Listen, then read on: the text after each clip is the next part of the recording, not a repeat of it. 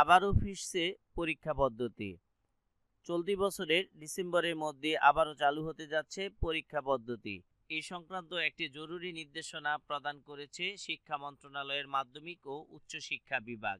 এতে চলমান মূল্যায়ন পদ্ধতি বাতিল করে চলতি বছরের ডিসেম্বর মাসে মূল্যায়ন পদ্ধতি কেমন হবে অর্থাৎ পরীক্ষা পদ্ধতি কিরূপ হবে সে সংক্রান্ত গুরুত্বপূর্ণ একটি নির্দেশনা প্রদান করেছে।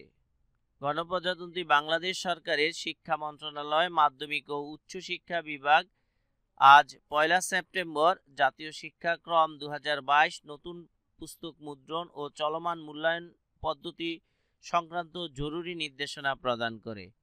এই নির্দেশনার গ অংশে উল্লেখ করা হয় দু হাজার চব্বিশ সালের অবশিষ্ট সময়ে ও বার্ষিক পরীক্ষায় ষষ্ঠ, সপ্তম, অষ্টম ও নবম শ্রেণীতে অধ্যয়নরত শিক্ষার্থীদেরকে সংশোধিত ও পরিমার্জিত মূল্যায়ন পদ্ধতিতে মূল্যায়ন করা হবে।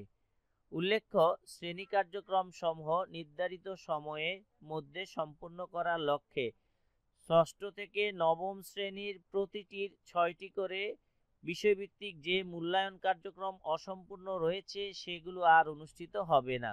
সংশোধিত ও পরিমার্জনকৃত মূল্যায়ন রূপরেখার ভিত্তিতে ডিসেম্বর নাগাদ দু হাজার চব্বিশ সালের ষষ্ঠ থেকে নবম শ্রেণির বার্ষিক পরীক্ষা অনুষ্ঠিত হবে। সংশোধিত ও পরিমার্জিত মূল্যায়ন পদ্ধতির রূপরেখা শীঘ্রই বিদ্যালয়সমূহে প্রেরণ করা হবে। অর্থাৎ দু হাজার চব্বিশ সালের ষষ্ঠ থেকে নবম শ্রেণির শিক্ষার্থীদের জন্য যে খবরটি বিশেষ করে সেটি হচ্ছে ষষ্ঠ থেকে নবম শ্রেণীতে যে ষান্মাসিক মূল্যায়ন শুরু হয়েছিল, সেখানে চারটি বিষয়ের মূল্যায়ন সম্পূর্ণ হয়। চলমান পরিস্থিতির কারণে মূল্যায়ন স্থগিত হয়ে যায়। আজকের পরিপত্রে যে নির্দেশনা দেওয়া হয়েছে, সেখানে উল্লেখ করা হয়েছে, ষষ্ঠ থেকে নবম শ্রেণি পর্যন্ত যে অবশিষ্ট ছয়টি বিষয়ের মূল্যায়ন রয়েছে, সেগুলো আর সম্পূর্ণ হবে না। এবং সংশোধিত ও পরিমার্জনকৃত মূল্যায়ন রূপরেখার ভিত্তিতে ডিসেম্বর দু হাজার চব্বিশ সালের মধ্যে বার্ষিক পরীক্ষা আকারে তাদের মূল্যায়ন সম্পূর্ণ হবে।